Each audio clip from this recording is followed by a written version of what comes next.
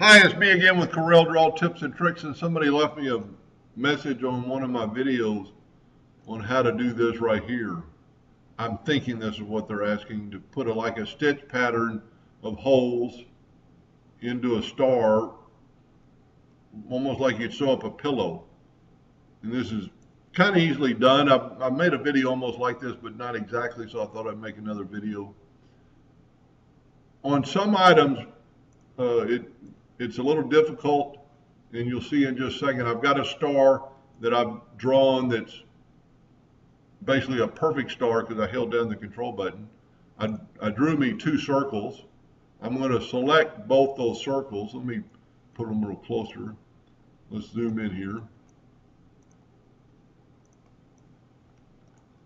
I'm going to select both the circles and I'm going to go up to effects and I'm going to go to blend and you need something divisible by 10 because there's five sides and double sided so there's 10 and we want about six five in the middle and one on the end.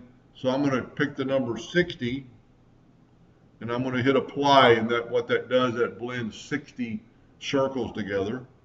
Go right down here and click on new path and put it on your new path now go back up here, and, and you could have probably done this before, but I get used to doing it this way. Blend along full path, put apply. Now here's the problem.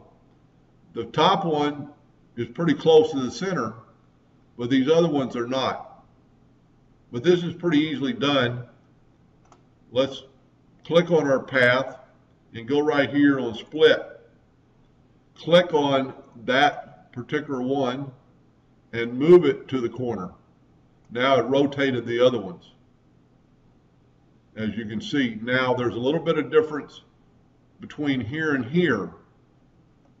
And there's one, two, three, four, five, six. So this one just needs to get moved to here. So let's do that again. Let's click on our path, split, click on that one. And move it to there. And now they're all correct. Now I can just see that I think there's a double one right here.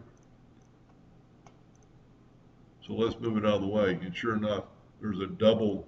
So what you need to do to go to object and uh, ungroup the whole thing, select it all, object, break the 23 groups apart, go up and ungroup all objects. And the reason I could see it is just, it seems like it's a little bit darker because it put another node there when it was rolling around. It wouldn't really matter. So now you're, you're done. But to get it like this, and that's why I made the video, our star is a separate unity now. We'll get rid of the blend tool and we will open up the contour tool and we're going to contour to the outside a half of an inch. Go up to object, break contour apart and delete our original contour. Now you have stars inside kind of like a stitch pattern if you were going to do a pillow and put two together. And or I don't really know what he's doing, but that would be the way I would do it in probably the easiest way to do it. So hope that helped them a little bit and thank you for watching.